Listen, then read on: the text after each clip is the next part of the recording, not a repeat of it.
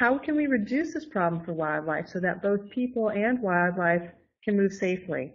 Um, and through this project, we're hoping to identify places that are the biggest problem for wildlife and work with you and your communities um, to come up with creative solutions. So um, this is a partnership project uh, with Maine Audubon. Um, it also includes um, Dr. Fraser Shilling, um, who's um, director at the University of California Davis Road Center. They're sort of the wizards behind the um, website technology and help us with data analysis. And then Inland Fishery and Wildlife, and today you're going to meet Chuck Hulsey, who's the regional biologist up in the western part, of mountains part of the state. And then um, Maine DOT is also very interested in this information and a partner on the project, and uh, Richard Bostwick's in the environmental office. Um, I want to um, tell you, Maine Audubon is a nonprofit conservation organization that works to conserve Maine's wildlife and wildlife habitat by engaging people of all ages in education, conservation, and action. So a little plug, if you're not a member, please consider joining. Um, your membership helps us do programs like this one.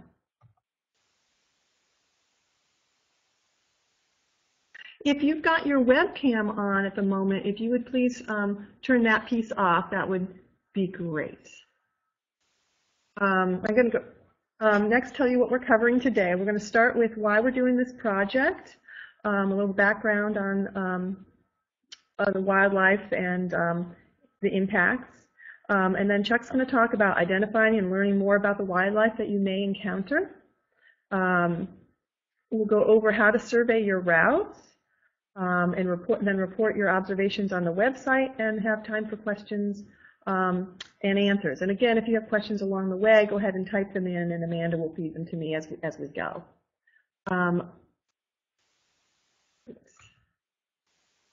so why are we focusing up in this region with this statewide project that we already have? Um, we are going to, um, this, this area of the state has um, been identified by many different initiatives as being important. As you, if you look on the upper left part of your screen, you see the, the state of Maine with the kind of red areas. This is an analysis that was done about human footprint, um, and you can see kind of uh, where the more green areas are as um, areas where there's less development and roads. And so this, this is an area that's um, important for connectivity and movement of animals um, really internationally. Um, and it's also important for regional movement as um, the geographic range of animals um, shifts um, and we want to make sure that they can continue to um, move across a landscape to adjust to those geographic shifts that may be changing due to climate change and weather and uh, temperature changing the habitats that are that are there. So animals you know just their basic daily needs: food, water, shelter, rest. Um, for nesting and breeding, the young need to be able to disperse and find new habitats as the adults kick them out of out of their uh, native habitat where they've been born. Um, and then some animals need to move big distances, like the bobcat, who uses about 6,000 acres um, for its home range throughout one year. So that's a lot, a lot of ground to cover in a year do animals, uh, small animals um, that move actually relatively uh, large distances for, for them. This is a spotted salamander. And an adult spotted uh, salamander has been um, shown to travel as much as 820 um, feet between its breeding pools and then the adjacent non-breeding habitat in the uplands. And juvenile um, spotted salamanders have been documented to go um, as far as about a half a mile um, away from their breeding pool where they were born. Um, so that's a long way for a little animal. And of course, as they move, they have to get across roads. And sometimes it gets difficult. They can't get there from here. Um, road impacts are many. It's, it's uh, not just the roadkill, but it's also loss of habitat from where the road and associated development goes, the fragmentation of habitat, habitat avoidance, um, and again, of course, the co collisions.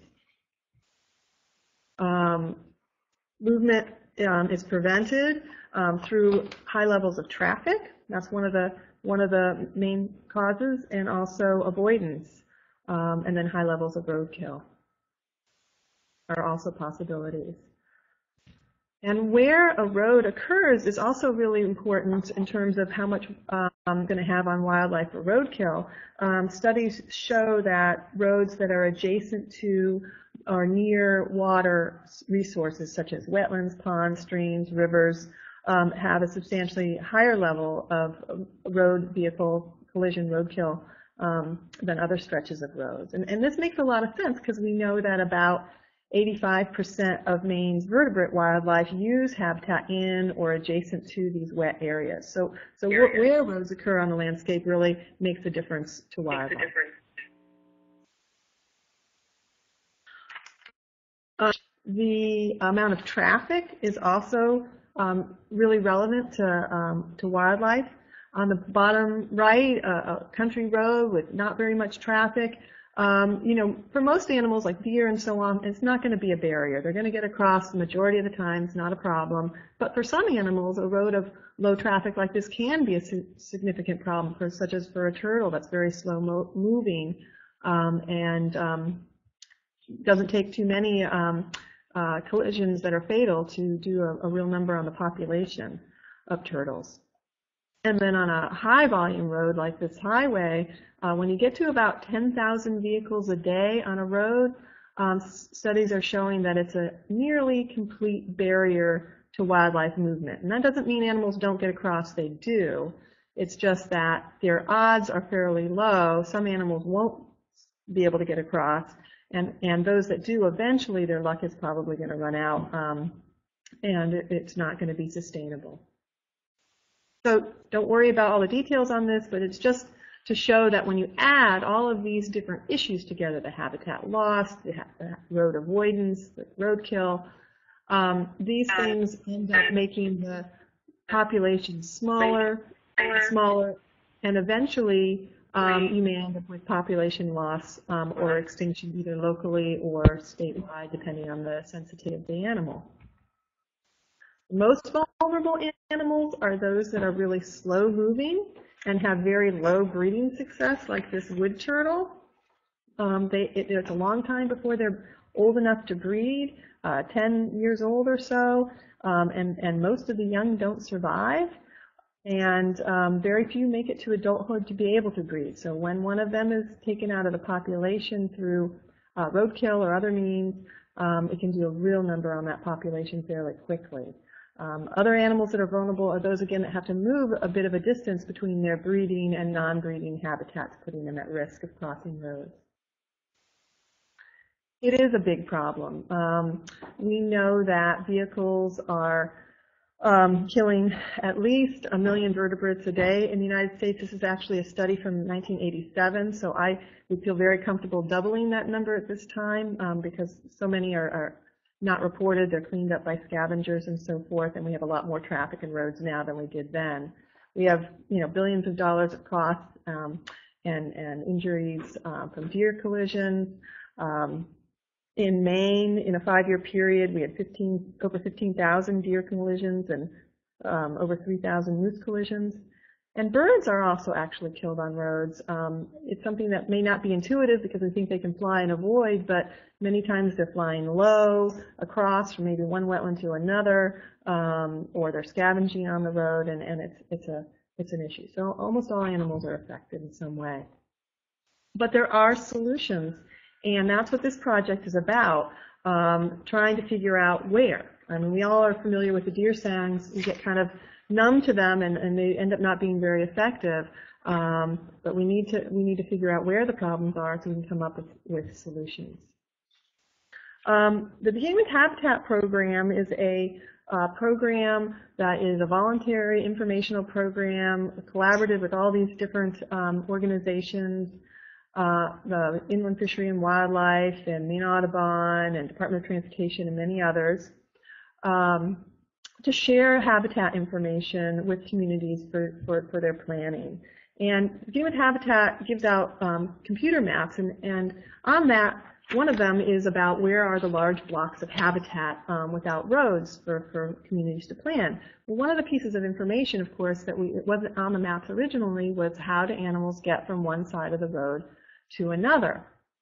And um, so um, Beginning with Habitat started a uh, computer analysis of uh, 10 different species to represent the diversity of species in the state um, and identify through computer modeling where the highest habit, value habitat might be on either side of the road for that animal. So here's an example. One of the animals was a fisher. We used the land cover, which is the area on the left, um, and we assigned using expert opinion and um, literature research, you know, where, what types of habitats are the best habitats for fisher and came up, put that together with um, nine other species, and came up with these areas that are now in the beginning of habitat maps, the blue and which are areas connecting habitats at crossroads between large blocks that may be areas worthy of um, trying to um, conserve and, and make sure that their, their um, uh, connecting ability is maintained. But, um, but this was all done um, on the computers. So what we'd like to know is a little bit more about what's actually happening on the ground in some of those locations.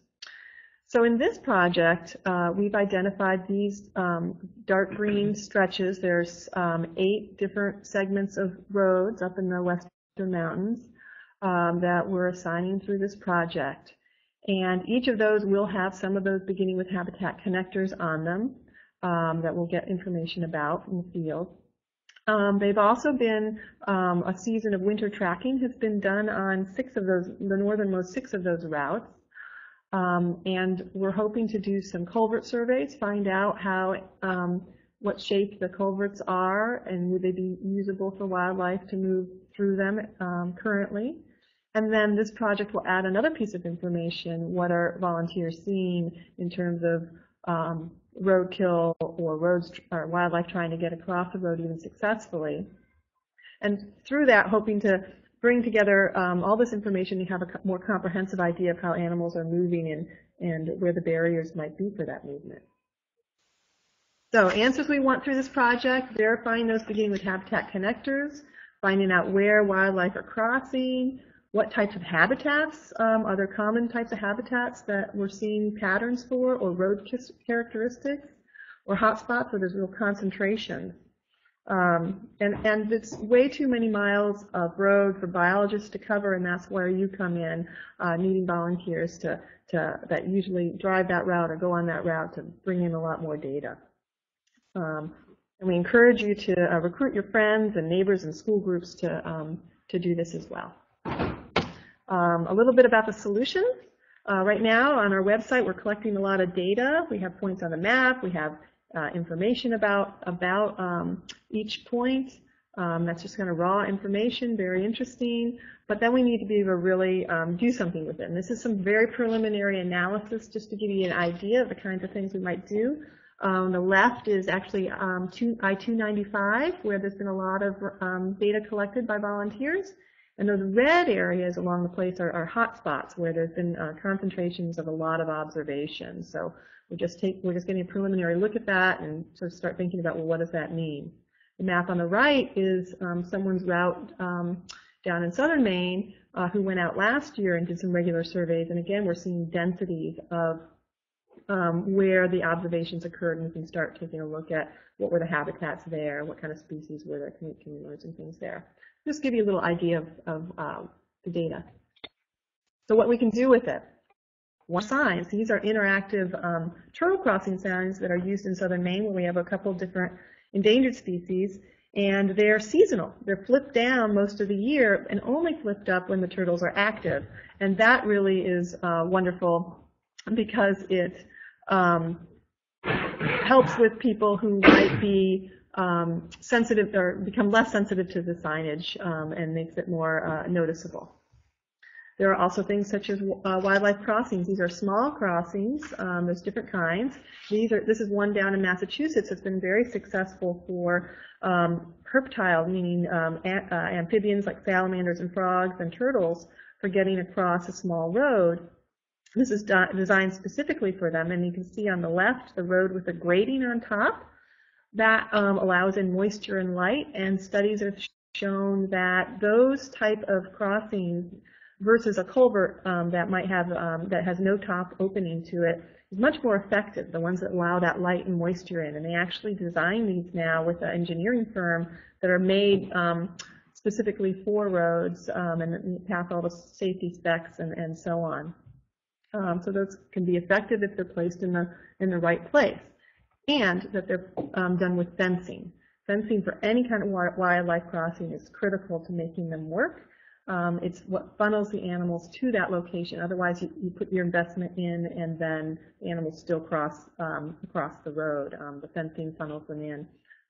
The example up on the upper left is a is a drainage pipe or a culvert that um, was enhanced by putting in this wildlife shelf for small critters to, to um, get through when the water's high, and that's another um, possibility in certain situations in some areas of the country um, and internationally, they're doing very large wildlife crossings. These may or may not be appropriate, depends on your location.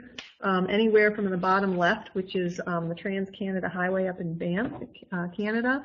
It's a green bridge. Um, it's built for wildlife to get across from one area of that um, you know, internationally important national park to another, incredibly effective along with fencing and keeping the large animals off the road and um, um, I think collisions have reduced 80 or 90 percent, uh, quite successful. But it can be um, a, a, a, uh, overpass like the one on the upper left that's sort of over there and can enhance the wildlife, um, or an underpass that's built for wildlife, um, getting them across in critical areas.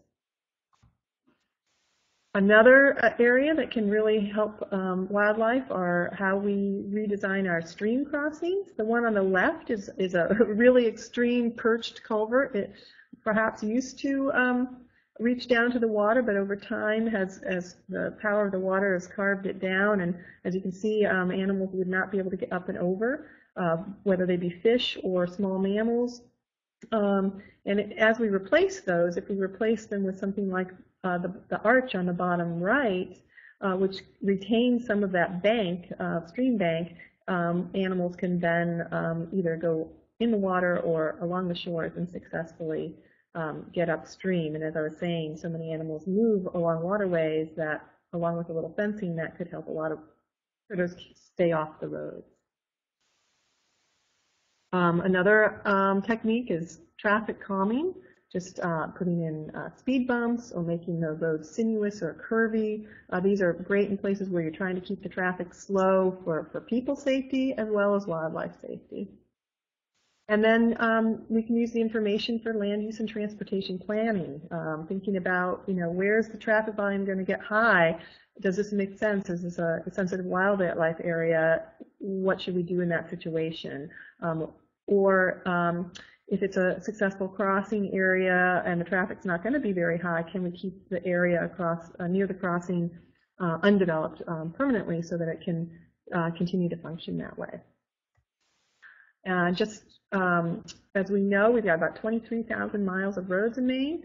About a third of them are the responsibility of the state, Maine DOT, um, but two-thirds of them are the responsibility of towns and private owners. So there's a lot of um, decisions that get made on the on the local level as well. Um, and in the DOT, um, there's opportunity for this data to help them with their project planning and scoping. If they look at corridors, they create plans every two and six years. They can take a look at this information and, and it can be uh, one of the pieces they look at.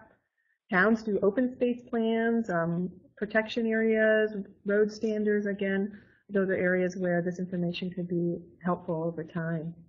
So we'll share back what we learned to you and your community as well as our partners and um, look forward to um, working with you on, on the data collection.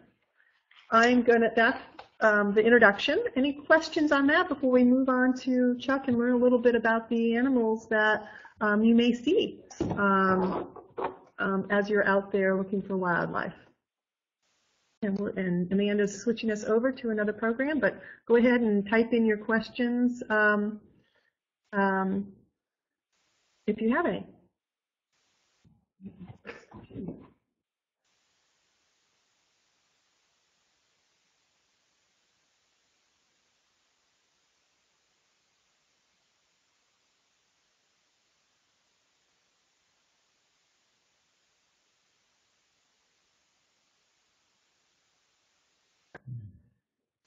Uh, good morning. Uh, my name is Chuck Hulsey. I'm a regional wildlife biologist.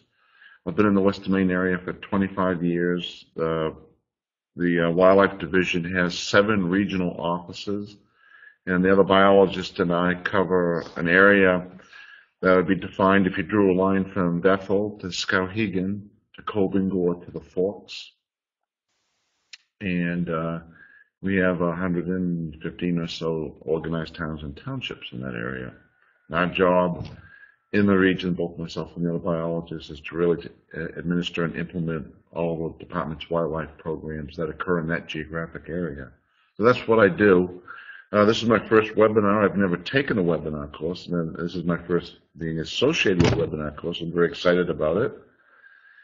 Um, and I'm going to discuss a little bit about the wildlife species you are likely to encounter on the roads that are part of the survey in this area and their, rel their relative abundance.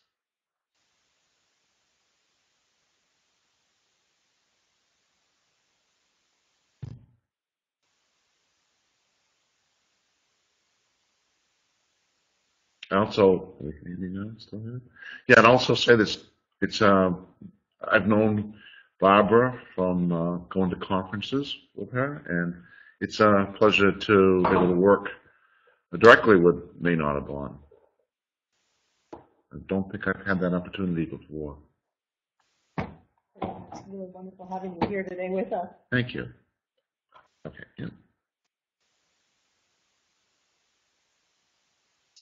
So I think that also needs to be in.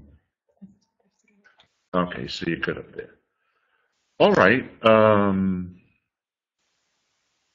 I'm going to talk a little bit about how to identify species and certain species and the, and some of them the general habitat should find them in. And so there are various ways to identify an animal, its shape, its size, its color, behavior, tracks, scat.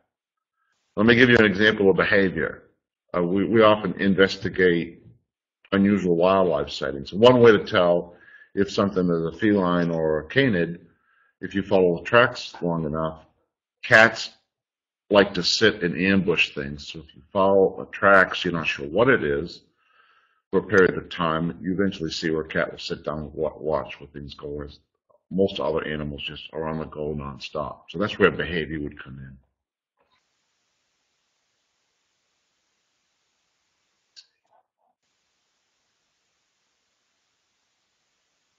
So the occurrence of roadside wildlife is going to be affected by habitats associated with that section of road, the season, age of the animal, sex of the animal. So let's talk about the cats to start with. In that area of those surveys, uh, bobcat would be common uh, and one way to tell the physical features of feline, um, they have retractable claws, they have a leading middle toe, their foot, the, the, the, the track has a much higher percentage of hair between the pads versus a feline. So if you saw an animal cross the road, and you weren't really sure what it was, you could stop, see if there are tracks, and that might be helpful to you. If it was in the winter, such a survey would be as, almost a slam dunk. You'd, have, you'd absolutely be able to see tracks. And the top track there shows an asymmetrical pattern of a feline track, and, and the bottom track is more symmetrical for a canid.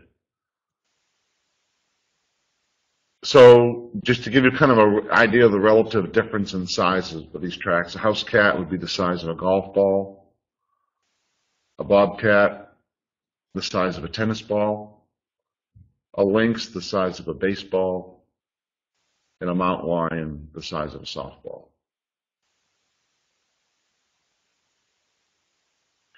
We do have lynx in the area. Uh, they're, I'm not sure I want to say rare, they're certainly uncommon. They, based on the the number of credible reports, I would say there's a slight upward trend in lynx through that area. And one nice thing about lynx, for some reason, they tend to be an animal that lingers and doesn't mind being watched a little bit from all the reports I've ever received from people. That you probably have a better chance of having a lynx stop and let you look at it than a bobcat.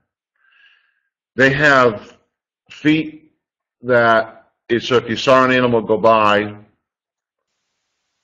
I'm going go backwards. If you saw an animal go by, their feet are ridiculously big and their legs are ridiculously long. That's, I mean, much, exponentially more than a bobcat. they actually weigh about the same, though a lynx appears to be a lot bigger, but in actuality it's not. Though it is a little tall, it is taller.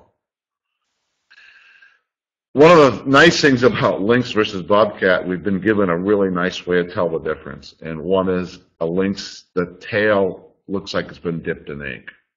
The black is all the way around the tip, and it has very long ear tufts. So I would say a lynx is a relatively easy animal to identify. Compared to bobcat, the tufts are much shorter, uh, legs are much shorter, and the black on the tail is only partial, partial black tip on the tail. And that's relatively easy to see, even from a distance. And very easy to see if you have binoculars. Now to the, can, to the canine family. Their physical features are they don't have retractable claws. When I the nail drives under the substrate means that as a foot punches through, the, the you can see the nails forward in the hole. Like I said before, they have a symmetrical track shape. And here's the thing that makes we use this a lot. If you look at the graphic on the right, if you can draw an X right through the left toe pads down the right side of the heel pad and the mirror on the other. And we can tell canid versus feline even with very poor quality tracks. So again, if an animal goes across the road and you're not quite sure, stop and look and see if it made some tracks in the in the side of the road or some mud. Um, Barbara, this is not a winter survey, am I correct?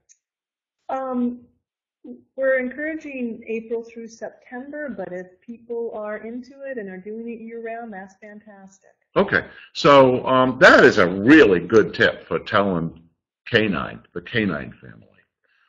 And we use it all the time. That's probably the first thing we look at when we're trying to figure out what something is, is uh, can we draw an X through it? Another nice thing for telling feline versus a canid is, again, the pads take up a very high percentage of the whole track with a canine, and, and felines have far more hair in between. We call that area between the pads negative space. So the canid has a lot less negative space. It's not likely you would ever see a wolf, but I wouldn't ever rule it out. Uh, we have interesting reports in that area. We're currently investigating one right now with with uh, game cameras have been all winter, not very far from Canada with our owl wolves. Um, so it's plausible, but not likely.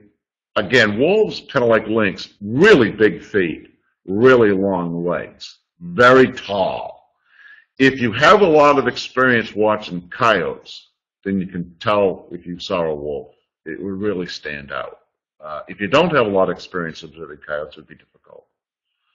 Wide snout, short rounded short rounded ears. Coyote, very pointed snout, very pointed ears, much shorter legs. Both colors, a coyote can be gray, black, blonde. A wolf would be gray or black or something in between. And you would find uh, I'd like to back up just a little bit. I, am not going to go back to my slides, but if you look at habitat, the, the lynx is going to be entirely associated with younger spruce and fir forest. And the coyote, the bobcat would be a generalist, could be in any habitat. The coyote would be any habitat, including uh, even places where people live. Foxes are also a generalist. You, you tend to think of them being just around fields and wood edges, but in reality, they're they're also found routinely out in the big woods where there are no fields. Uh, they're common, as are coyotes. Coyotes don't like to be seen; they're far shyer. Uh, fox doesn't seem to care that much if you see it. Very easy to tell by the fur. There's not much variation in color. Huge tail, red red color, black legs. If you see their track pattern, it's they're absolutely linear. You could pull a rope tight and line up all the tracks in one line. More so than any other animal. So even if you had poor quality tracks, they're all blown in with snow, or the sun has melted them out, or you don't have all the tracks. If you, if you can line them up like putting a rope between them and just pulling it tight and they all line up, that's a fox. They're also they're also fairly small, small a small track. So the weasel family, also common in the area where you'd be looking. No wolverines, so they are a member of that family. I don't think you're going to see any wolverines. If you do document a wolverine, you'll be in the you'll be in the national news that night. So the smallest ones we have is long-tailed weasels. They're um, voracious hunters. Uh, they need to be where there's some structure because they're very long and narrow. They don't hibernate, and if you're long and thin and narrow in Maine, you lose a lot of body heat. So they eat nonstop. They're a carnivore. They're not much. They basically want to kill what they eat. They will scavenge, but um, they're constantly on the move. They have the lowest percent body fat of any mammal Maine, for point of interest. A lot of us um, are envious of that. They also change color in the in the in the winter. They're called ermine, but it's the same animal in the summer. A very small animal. I was asked recently, a person was having trouble with their chickens being killed by weasels, and they asked if a one-inch square mesh would keep them out. I told them I didn't know. I, I, I wouldn't dare to say if they could not, yes or no, they could get through a one-inch square or not. I don't think they could, but I encourage the people to use a half-inch square because they are small, much smaller than you might think. That's next cousin up, which is common in the area you're going to be surveying, is marten. They're a um, little bigger. They're a brownish and a blondish color. They're, you can see that blonde on them pretty well and a little bit of a white face. They can be arboreal, but they spend most of their time on the ground. You're going to find them associated with spruce fir forest where there's lots of structure on the ground because they want to get under that. The structure holds up, provides provides uh, cover for the animals that they're going to hunt, and it also provides protection from them from the cold. I do not have a picture of a fisher, even though it's a common animal. I just couldn't pull it together. They're probably three times the size of a marten. They're uniformly dark brown. They're called, you know, slang uh, black cat, fisher cat. They're not a cat. They're, they're in no way like a cat. But if you had, if you were looking directly into the sun and you were looking at a fisher, it might appear absolutely jet black to you. The brown is that dark brown color. You find them in mixed wood forests. They can handle openings better because they're not, they're big enough to not be taken as prey by avian predators. Um, or they're not, or coyotes or bobcat. In fact, you might find it interesting that on our lynx study up north that went on for several years, they, they documented fisher killing lynx. So they don't really, as an adult, have any enemies. So they can then venture into openings. Uh, they're going to be more likely to venture into an opening than a um, than a than a pine marten would or a weasel would. and um, where you see snowshoe hare, if you pay attention as you're going along the road and you see a snowshoe hare sign, either droppings or tracks, you're very likely to find fisher and pine marten and coyote uh, and lynx in those places because that's what that's a very important part of their diet. They're, one of their aquatic relatives that we have in that area is the mink. And they're abundant, they're common. You're really not gonna find them away from streams, ponds, lake shores, brooks. So, um, anytime you're crossing those types of places, you can, uh, keep your eyes peeled. One year when I was deer hunting, I, every morning I went down and sat on a bog, uh, this log over a bog. And I could almost set my clock to the time of the morning when this mink would come running down the, sh- the shore. And I was up on this elevated log about six feet off the ground. And every time, every morning that week, he would run under that log, like almost within 15 minutes every, every day.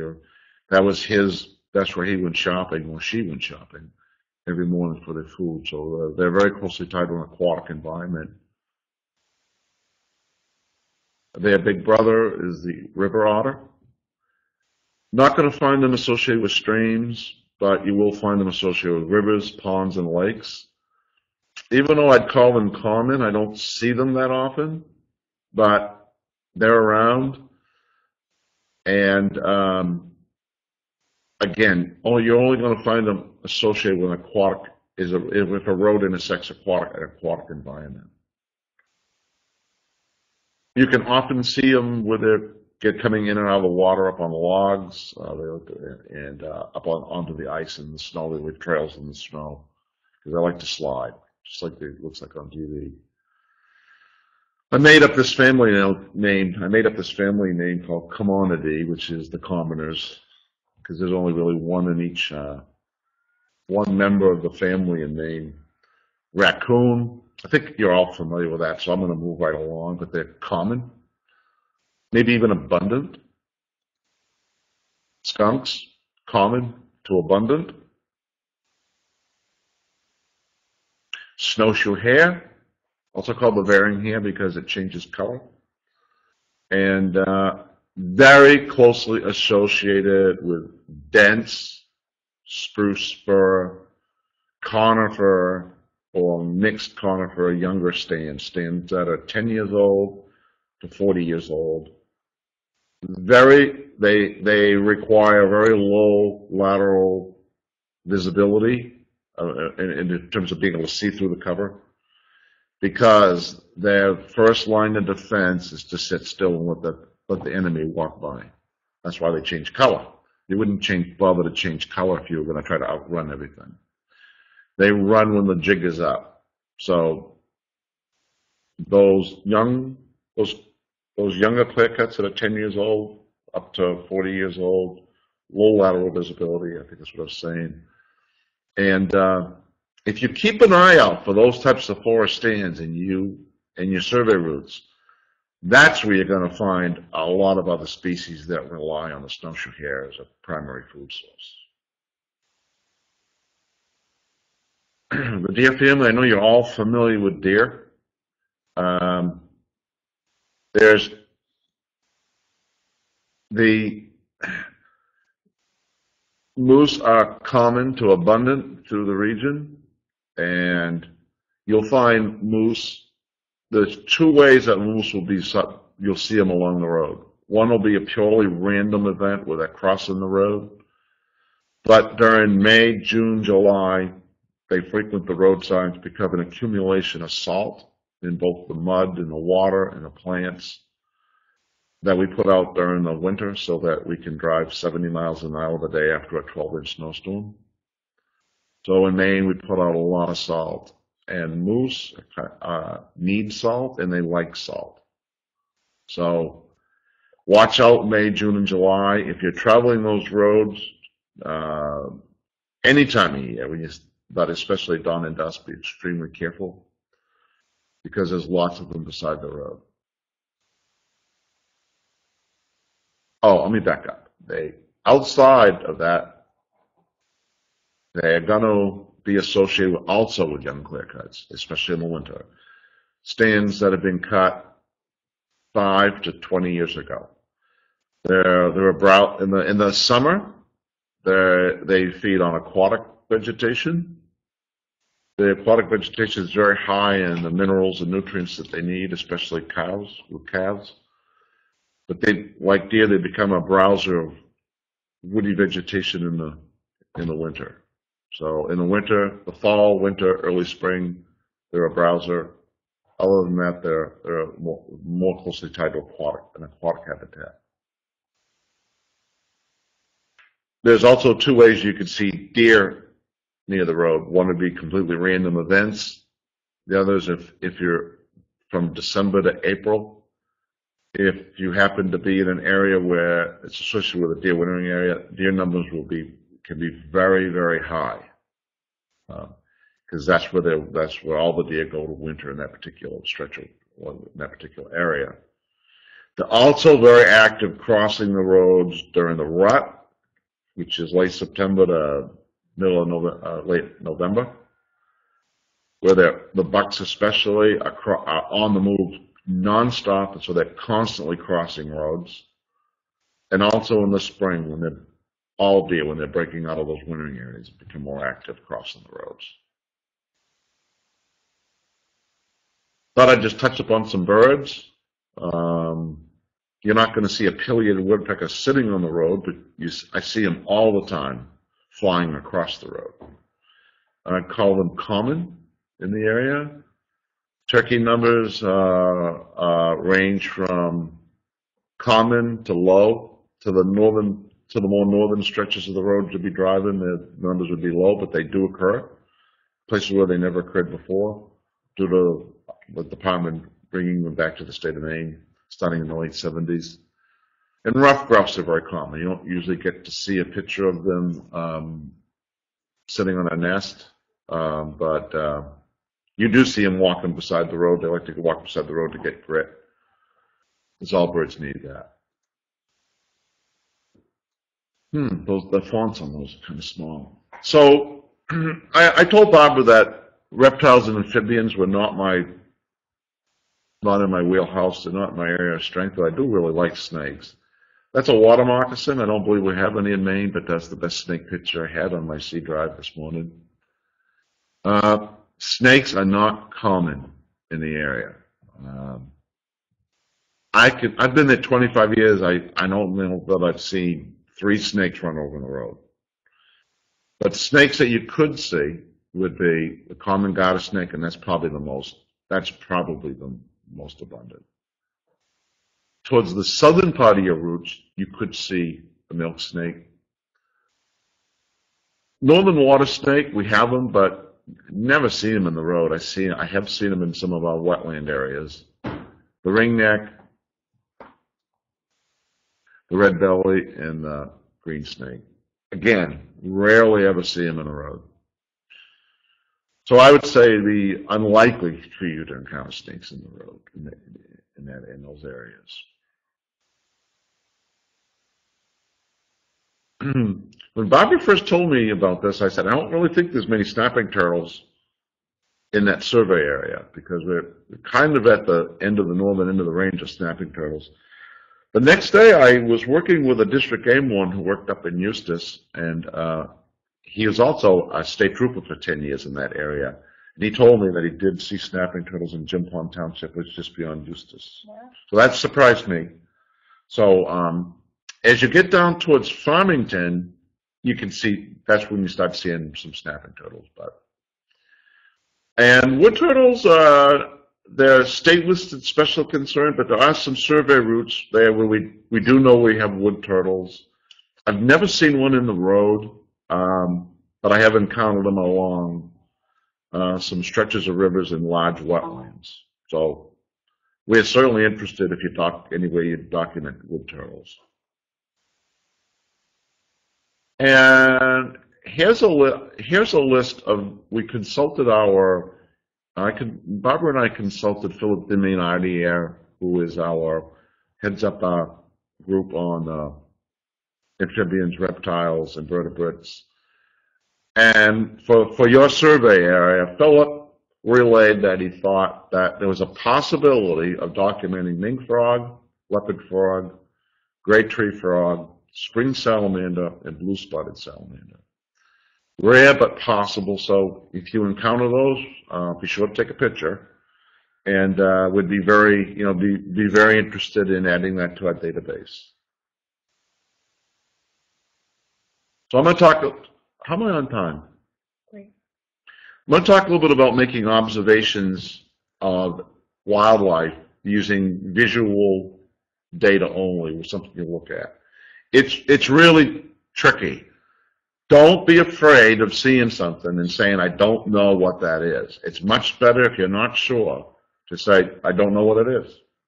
Uh, because there's lots of things that can come into play that make it difficult.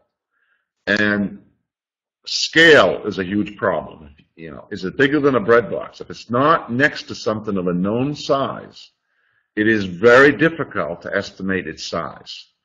And I have handled um, 30 black bears that have been caught. They were in a culvert trap or a foot snare, and they had to be drugged, we have to calculate the drug dosage.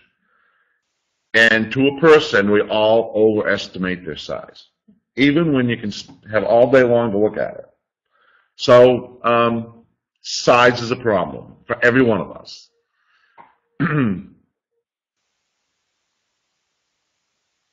How big, and one of the things that come into play with causing problems for us human beings with size is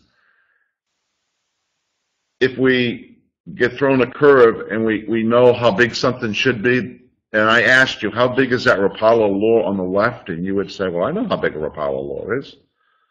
I've seen them. Well, that's the same Rapala lure on the right. So it can, uh, it, pictures of things can be deceiving. Um, it's tough, so just be cautious when using uh, visual determination of how big something is. Color is also a problem because color varies on an animal based on its age, its sex, time of year, its, loca- its geographic location, day versus night, and especially the position of the subject versus the light source. You've all seen professional photographers who've taken pictures of an animal that's this black silhouette that's because of the sun, they're shooting into the sun. And uh, one time I saw, I was with another biologist, we were driving on this long stretch of road, dirt road, and you could see a long ways, and this animal came out into the road, and it was jet black.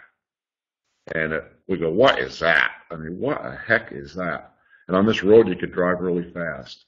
We were looking into the sun.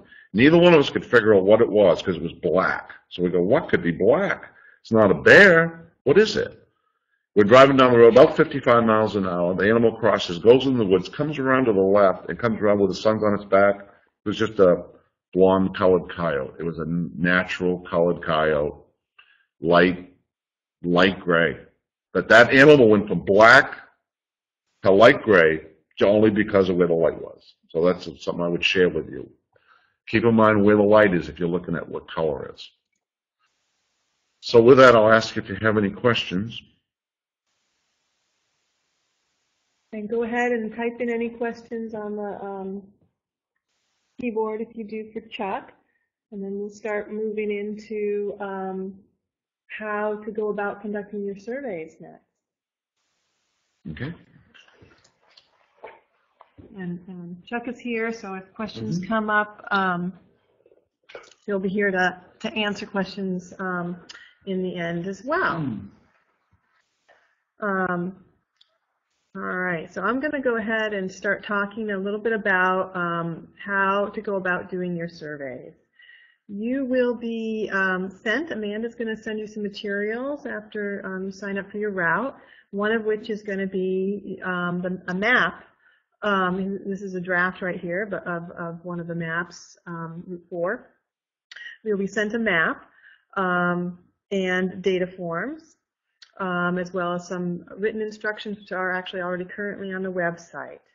Um, so, equipment you're going to need. Um, we really recommend a uh, safety vest, and I think we're going to be able to actually, if you don't have one, send you one in the mail.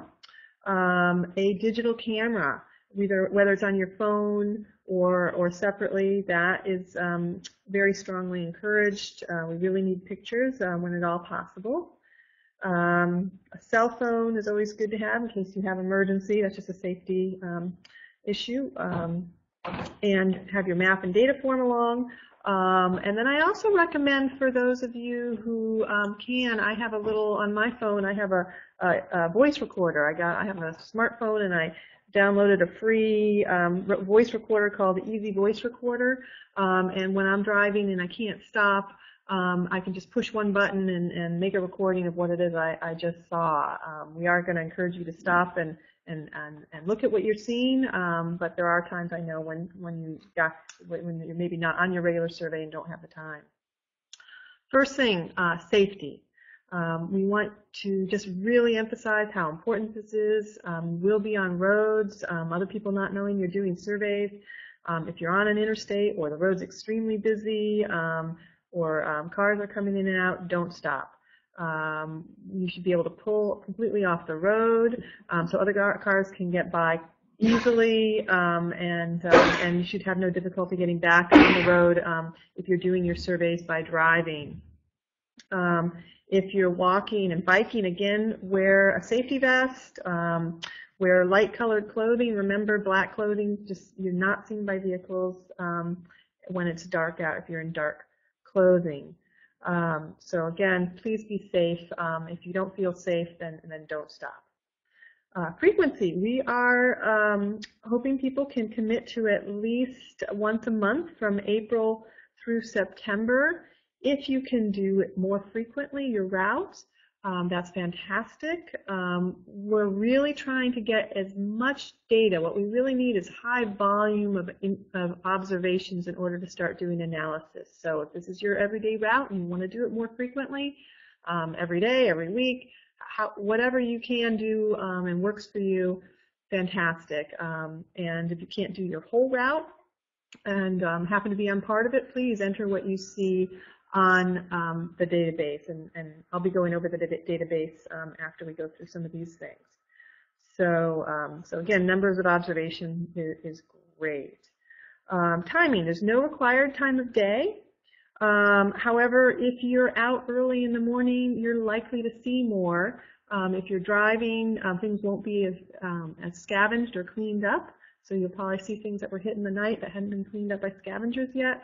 If you're walking, you'll have much more odds of seeing some of the small animals like the amphibians and reptiles. Um, they get they dry up very amphibians in particular dry up very quickly and are scavenged by other animals very quickly in the morning. So um, and if you are if you are driving, you're likely not to see those small animals.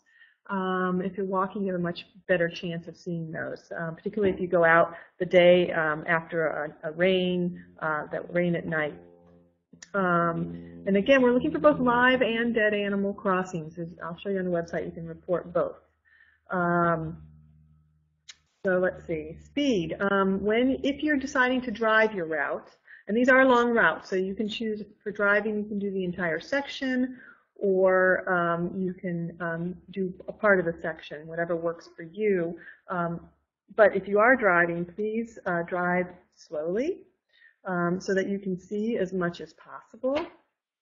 Um, um, if it's, but you want to be within the within the, what the uh, minimum um, uh, speed limit is for the road. If you have other drivers behind you, please let them pass safely. Um, and for identifying, be as specific as you can. As Chuck was saying, if you don't know what it is, you don't know what it is, and that's fine. Just reporting that it is a mammal or it was a bird, or you think it's an amphibian, that's fine. That helps us as well. So, um, and we have an opportunity for you to say how confident it is. You're really confident, you 100% know what it is, you're somewhat confident, or even best guess. Um, photographs. Please, um, as much as you can, take photographs. That's really, really, really helpful. We do go through them, and our biologists here um, and working with IFW, if it's a real tricky one, um, help us verify what species we're seeing. So if you don't know what it is, it's possible we will if you use a photograph. Um, we will send you a ruler. So as um, Chuck was saying, you know, size can be so deceiving, and if you can leave that in your car um, when you take a photograph, put the ruler down next to it, and that'll give us a better idea of what, what size that animal that animal is and help us with identification. Um, let's see. Okay. Um, I'm going to go on to now, when you, again, when you're out in the field, what you're going to do is um, you're going to have that map um, that you see up on your screen with you, and we'll send you a number of copies of that. And mark on there exactly, as close as you can, what um, what you, the number, say number one observation, number two observation, and so on for your day. And then you're going to put it on your data sheet corresponding with the same number. Um, and there is, if you see a cluster of animals, um, you can use that as one observation if they're all the same species. Um, okay, I think Amanda can pull up the data sheet now so you can see what that looks like. Um, so again, um, whoop, there's some turtles for you. We're going to slide down, go towards the end of these slides, um, all the way to the to the end almost, and there's just some critters. Um, and they, okay, there's the data sheet. And this is available online actually, so you can always get more of them by, um, and I'll show you on, on the website where to find them and, and copy them, but we're also going to be sending um, you out a stack of them as well. Um, and so you'll be filling, filling those out with information, and, and the information on here pretty much corresponds with um, the information on the website. So just quickly going through it, um, it's pretty obvious. You know, you put your name and the, the, the, your route number, so you remember which route you're on, and the date of the observations. Um, if you know the temperature, that's fine, not critical. We like to know when uh, when the if it's been raining or not, um, general conditions. We like to know um, if you've surveyed the entire route or just part of the route. And what's really critical is if you do your entire route and see no wildlife, live or dead, check the box that says no wildlife observed and go to the website and enter that information in, that you did that survey and saw nothing. That is critical. It's not intuitive, but it really helps us with analyzing the data. So the negative data or no data at all is also important information for us. Um, and I'll show you that on the website. Again, you have your observation number and, and your photo number. Um, and someone had a question, observation points will vary. Um, and I'm not 100% sure, can, can, you clarify, type a little more and clarify or, or speak up or, and clarify your question so I can answer that one? Yes, this is Dan here, you hear me? Hi Dan, yes. Yeah, so, so I, I just, I think I understand where you're going here, but so you, you will not, you're not, you're not, you're not anticipating we will establish um, observation points that we will repeat, but rather look for look for something to record and then uh, record it there, and and then the next time we do the route, it'll be presumably in a different place. Exactly. So you're going to go, um, say you're driving your route and you see a raccoon. You'll mark on your map, this is where I saw the raccoon. And you can use the map that we give you, or you could use your DeLorme or you know whatever works for you in order to identify its location so you remember when you go to put it into the website. So then yeah, and then and then you you, you might want to um, you know this is optional, but you can if you have a shovel in the back of your car or um, you know want to sort of shove the animal off the road um, or off the side of the road so that it's not counted again by you or someone else, um, or by putting the scavenger at risk um, of uh, being next to the road. That's that's great. Not not required, but an optional thing. But yes, you, you mark your point um, for, for entry onto the website, which we'll go over, and then go on and say maybe a few miles down you see a skunk, you mark that on your map and keep going. The next time you go out, you're going to be using a fresh data sheet and a fresh map and you may not see anything in that location. You may see something in a different location. Does that clarify? Understood. Yeah, that was that was my point. Um, it, as a similar point, if if I record um, no observations on the entire route, that's clear enough. Um, if I if I observe um, no observations on the partial route, I guess you'd want a map showing what what what part of the route was observed. Yes. Ooh, good point. Um, see that on the data sheet. That's it. Just popped into my head when I. Right. Um, hmm. I'm going to think about that, right, um, and, and get back to you on that, because I don't think there's a place on the website to say it was partially surveyed. So I think if it's partially surveyed and you saw nothing, I think we'll probably just not worry about it and not, not enter anything. I think only if you do the entire route, okay? Just, just clarify that that. for us, because I'm sure that we'll get plenty of negative observations, right? Yeah, it'll, it'll really vary. Okay, a little more on the data sheet. Again, you know, the time you, the time you made the observation, um, the species, um, as far as you can tell, dead or alive, or if you saw more than one, how many. Sometimes you might see a whole bunch of frogs in the same location. Um, the um, and and there's sort of some tips on filling it out the, on the opposite side of the sheet.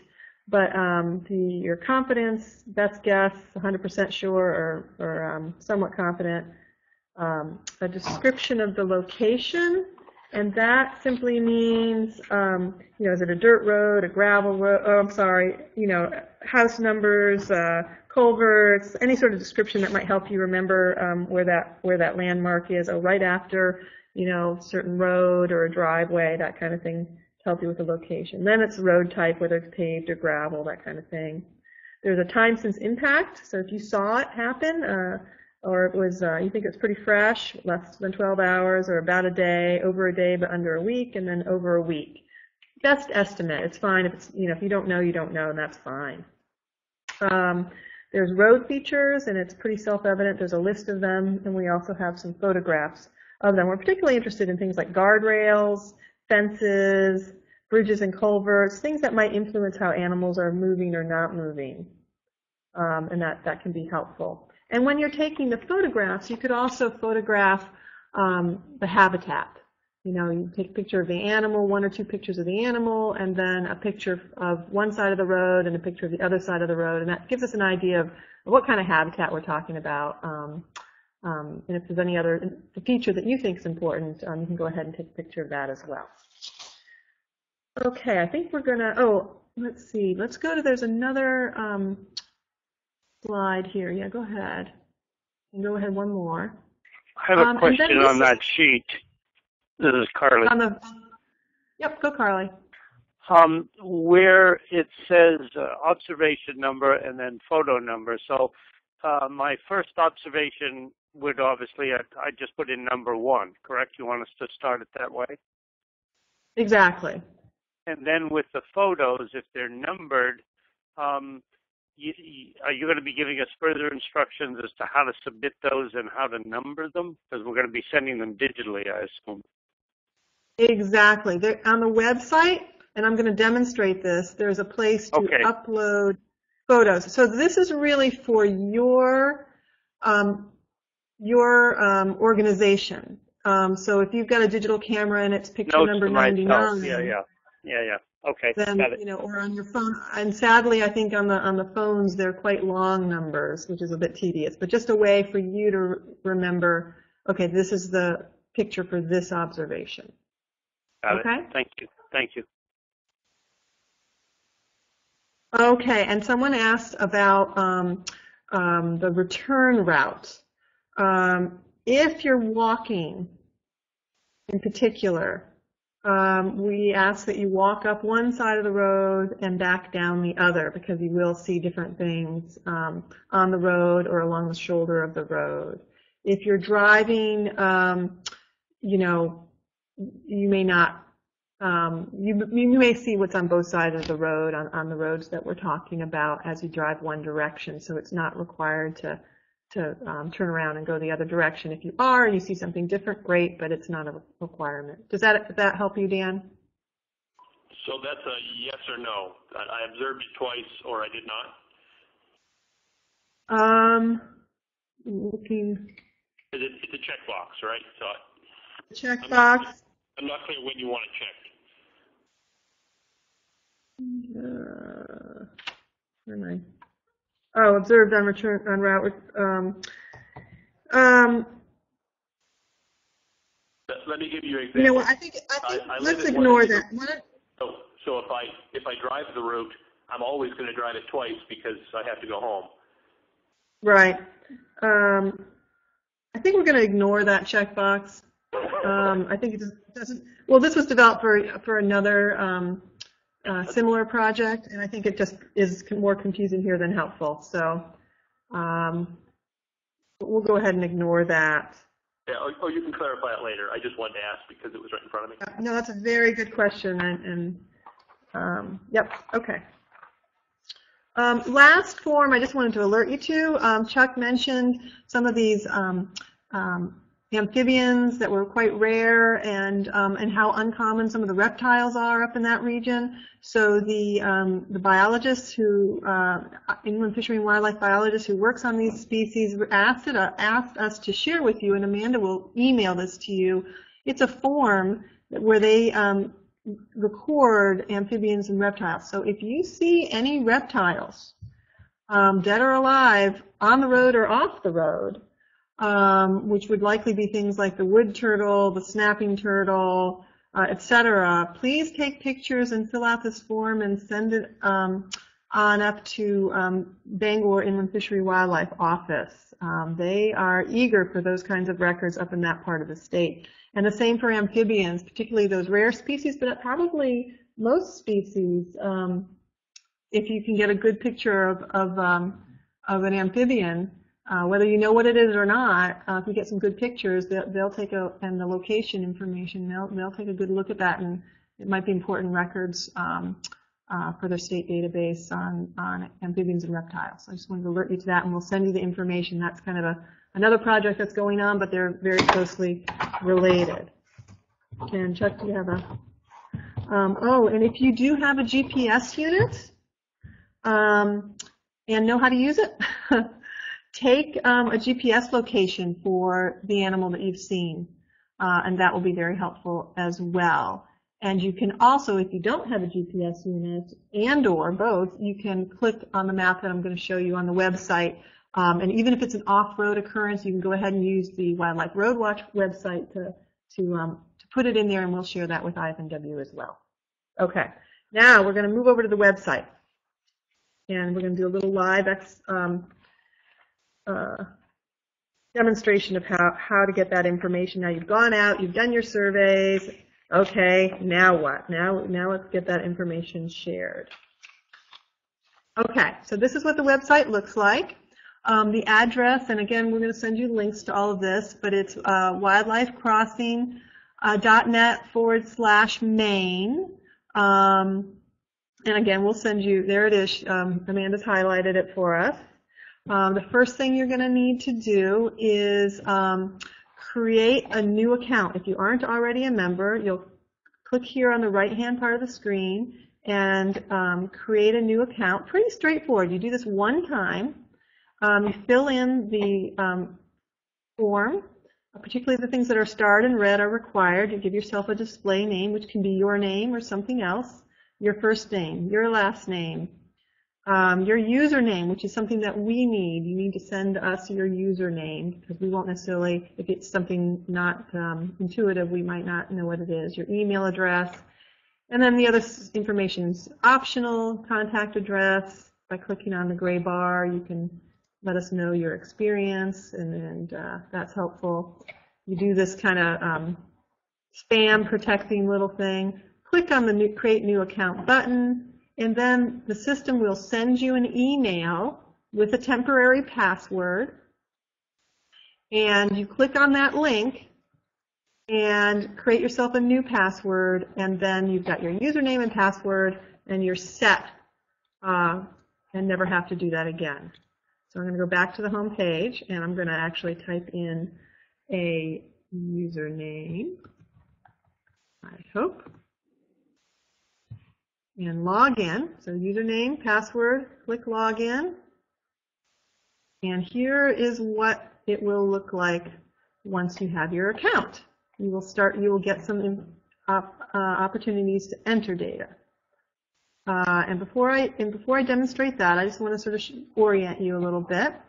Um, we have news here on this page, where you can see up oh, here's the Western Mountains Project and other projects. Uh, there's a blog opportunity where you can, if you see some interesting things, you can share it with um, all the other people on the on the program, and um, they can um, then comment on that, and that's always very interesting.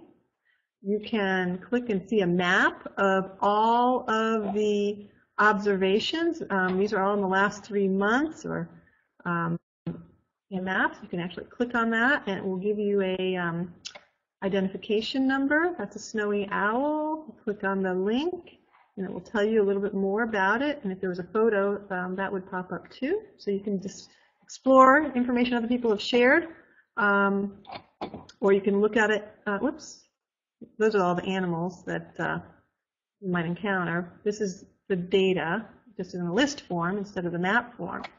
And over here, again on the right, you'll see my observations and my maps.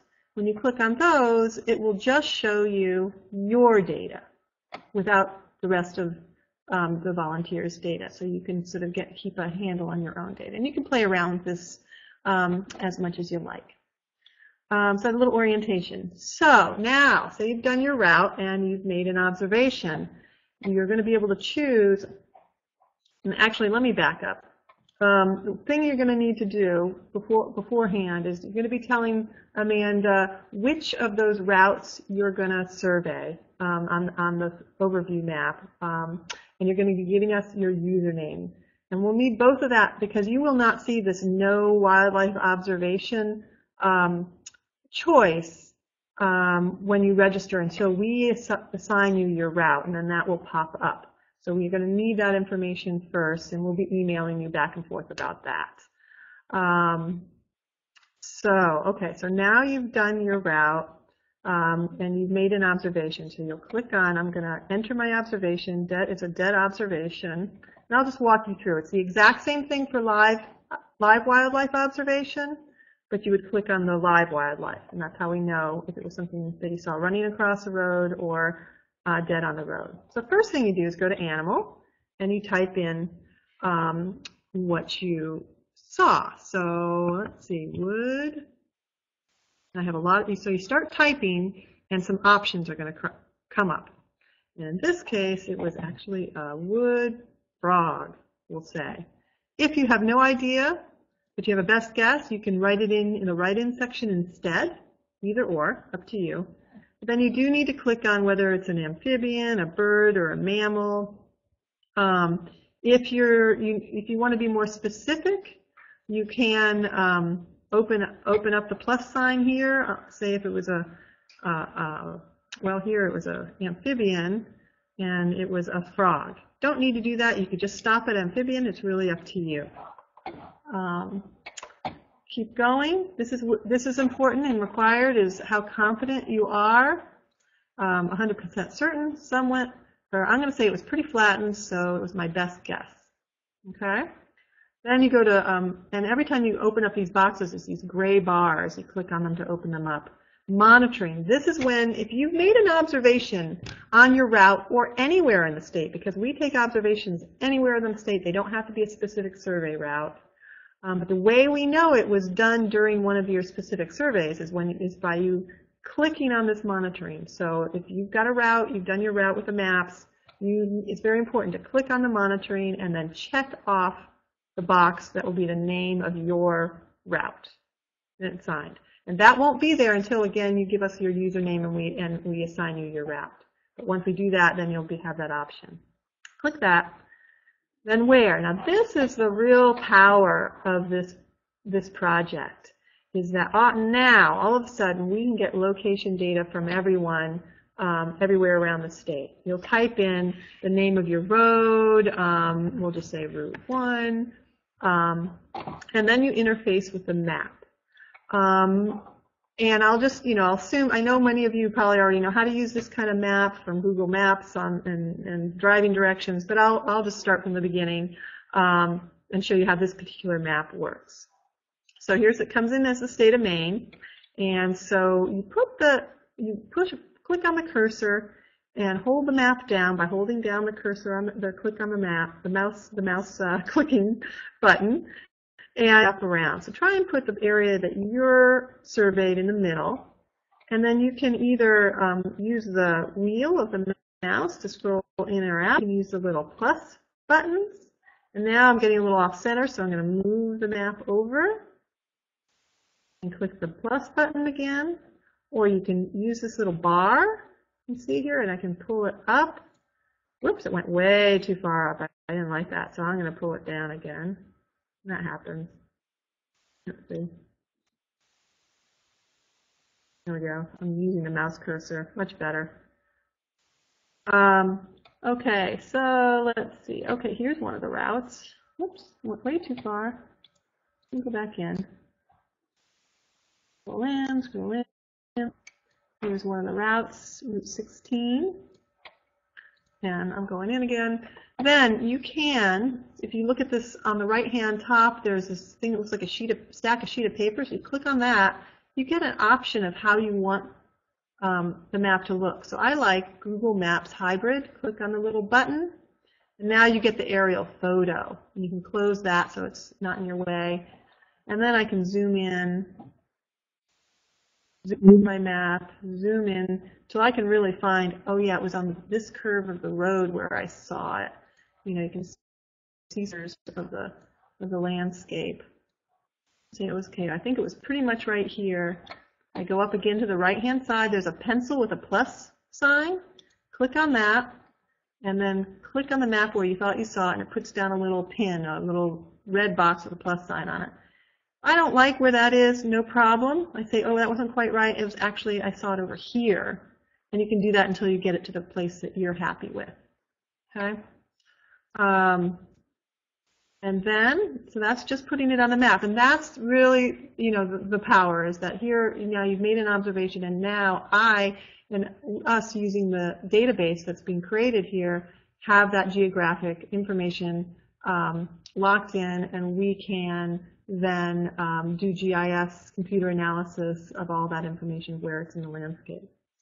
Okay, the next thing is you then, uh, it puts in today's date, so if you did it a week before, you just go in and say, oh, actually it wasn't 07, it was on the 1st, um, and you change the date. The time is a 24-hour clock, so if I saw that at 1 o'clock, I'd type in my um, 13, 13, and it was actually uh, 13:15. And you don't have to be you don't have to be as precise as, as exact minutes, but if it was around three, you know, around one o'clock or 1:15, that kind of thing, um, if you have exact time, that's fine too. The next are your visual uploads. Okay, this is where we were talking about putting your pictures. So the first thing you need to do is get your pictures onto your computer from your camera or your phone, put them in a folder. Once they're there on your computer, you can go to browse, and then I don't know if there are any pictures on this particular um, uh, computer. I'll go under pictures and see if there's any. Oh, sample pictures, fabulous. Oh, cute koala. So if you saw what I did, I, maybe I should go back. I went a little fast. Um, I went to the folder where there are pictures, clicked on it, um, and then I opened it. Whoops. Opened it. And then I picked the picture, and you do have to do this one picture at a time. Click the open button. Now it's got the link here, and I just hit the upload button. Be smaller than um, 8 megabytes per picture, and these are the formats that are allowed, JPEG, uh, GIF, PNG, and JPEG. And there it is, and now it's uploaded. And you can give it a title, if you want, um, if there's any information, but you don't have to. That's optional. Um, and then if you have another photo, maybe the habitat, you can say habitat on this side of the road, habitat on that side. You go through the same process until you upload all your files, all your photographs. Okay, the last section are the field notes. Um, you don't necessarily, it depends on um, some of these you fill out. The animal count you only use if you've seen a cluster of dead animals, like maybe a family of raccoons all in the same location. You see three of them. Um, it defaults to one animal, so you don't have to do this if you just maybe saw one animal, but if say you saw three, you click here, you type in your three, um, you're done. If you're not 100% sure how many there were, it was a range, it was like, well, it was between two and four or 20 and 50, you know, you can give the range. Um, the animal specific information, again, is um, if you know the gender, most, most of the time you won't, so you just leave that blank. Um, if you know the age, um, if it's a juvenile or adult, um, most of the, you know, most of the time, um, you, that's a, an optional field, but if you have that information, go ahead and put it in. Um, the uh, time since death um, was on the field, um, on the form, and here are the options again. You click on those. And roadway specific is where you put in um, that you were either driving or on a bike or walking and so forth. So say we were in a car, car this time. How often you travel the road. Um, this is particularly helpful when you're doing a random observation rather than your, your survey, but, but also um, it can be useful. So you go there daily. The type of road, that's dirt, local paved. Um, these are, you know, single lanes. This is just, you know, uh, one, one lane in each direction or four lanes, uh, state highway, interstate. And the roadside features we were talking a bit about, again, was these are the different guardrails, types, the median barriers, curbs. Is there a curb on the road? Culverts, bridges, fences, and we have pictures of those in the instructions that we're going to uh, make sure you have uh, a link to or a copy of. Any field notes, anything you need to share about uh, special circumstances, um, you put here. And then the last bit is you just hit the save button and it will save your record. I'll say I probably didn't put in all the required information, so it'll probably give me a little error message. Oh, no, I did it. And it's created, and you're done. Um, and that, and there's the there's the picture of the koala. Boy, we're going to really confuse the biologists when we're when we're reviewing this data. That'll be fun. Um, so that's that's the end of um, the website demonstration.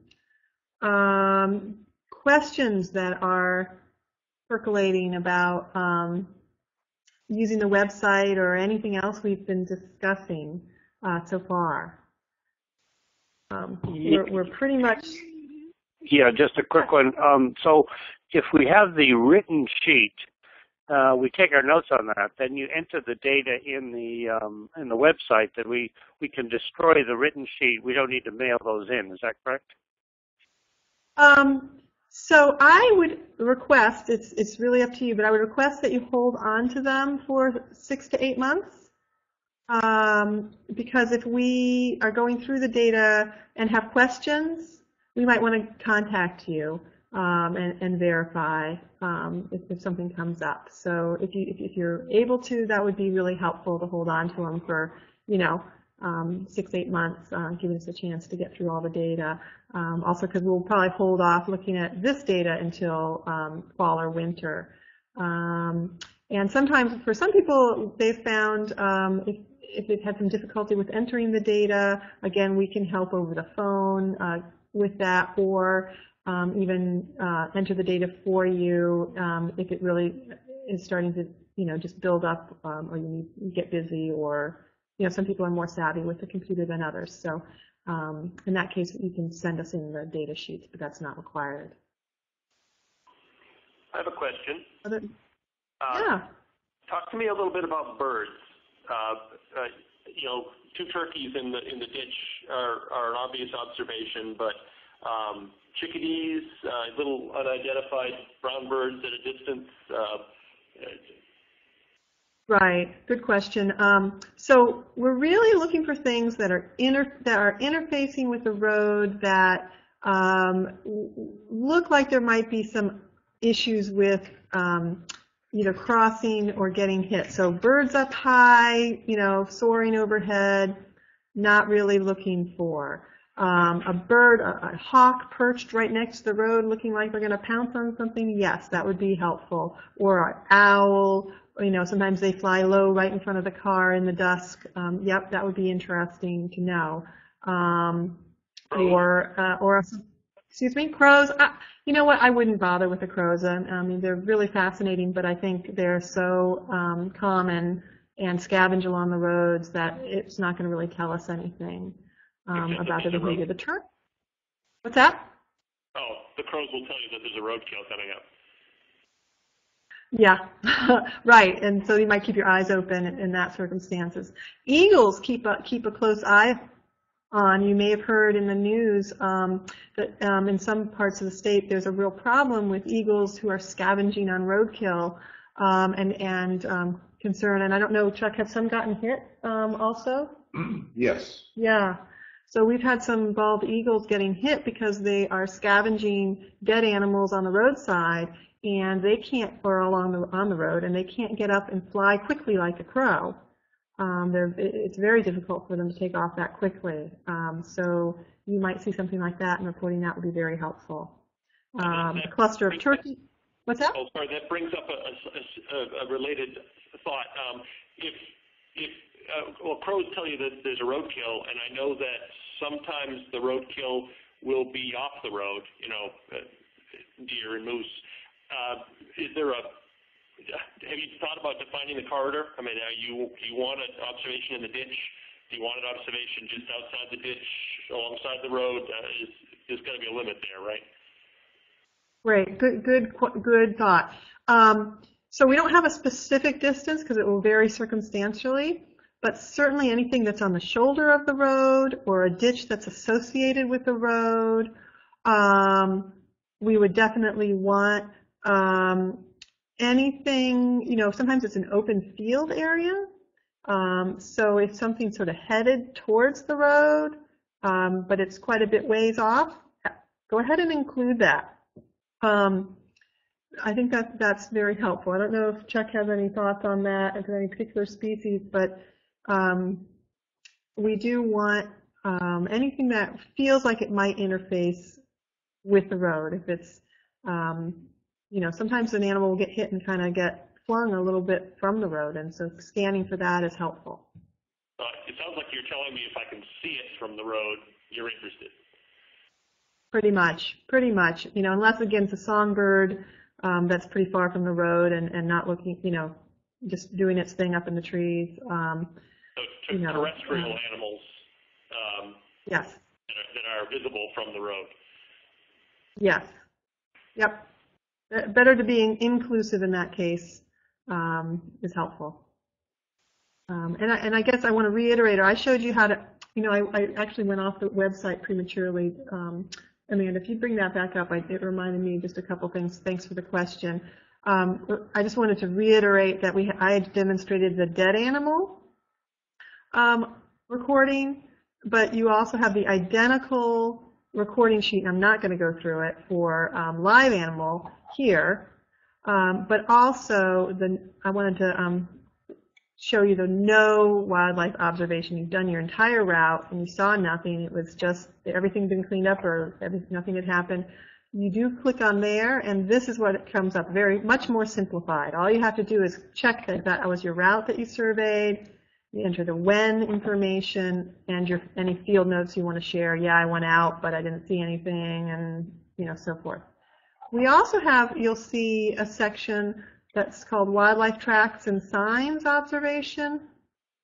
Um, we're not really using this for our analysis at this point, but it is um, something that, it, you know, if you do see something interesting, you can, you have the opportunity to, to observe that. And um, we haven't decided what we may do with this over time, but spoor type means some sort of animal sign, so feather, fur, hair, tracks, scat, and so forth.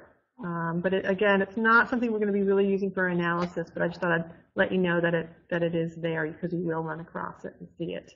I also wanted to let you know, um, you'll see this add adopt a route, road route here. Um, we've already identified the routes for this project, but this is for people who want to create their own routes. There may be another route that they just go regularly and they're really gung-ho and they really want to, um, you know, do a lot of surveys um, there's an opportunity to actually go in, name and route, and draw the route.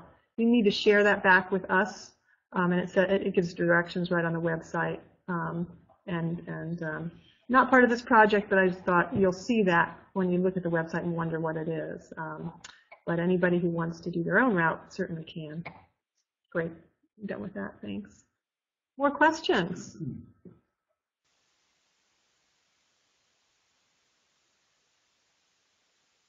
Super. We did have a question from Aha. Lloyd. It's typed on the slide. Lloyd, let me see. Um, And whether like an Okay. iPhone 5 uh, takes GPS points. I mean, I don't know how to do it, but Yeah, you know what? That's a really good question. I don't either. I do know that some of the smartphones and iPhones, they definitely do have GPS. So if you're savvy and configure, Yeah, your What's that? iPhone does, your iPhone does have a GPS, and, and with the, with the right app, you can, you can record points. Whether that'll be helpful here or not, uh, they, they've got a very nice, um, sort of a point-and-click interface, which I I suspect will be easier than trying to transcribe, um, you know, XY data. Exactly, and we do not, it does not have the capability to upload GPS locations. Someday we might add that, but, but um, we, we haven't done that uh, at this stage. Um, but again, if you see one of those rare amphibians or reptiles, the GPS location is very useful um, for, for, for those biologists.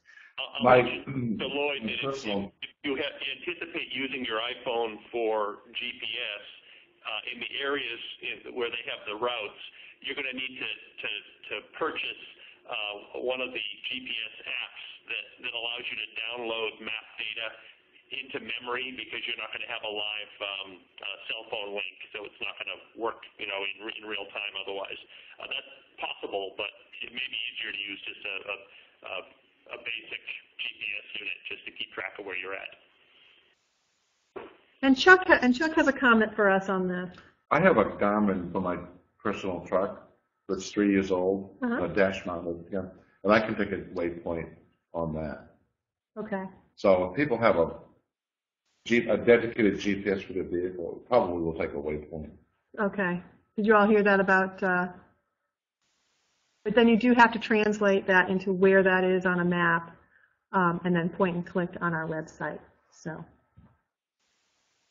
Other thoughts and questions? You, you, you've got two um, identified routes up this way. I mean, do you have notions about who you want on which route and how well you're covered? Have you thought that through?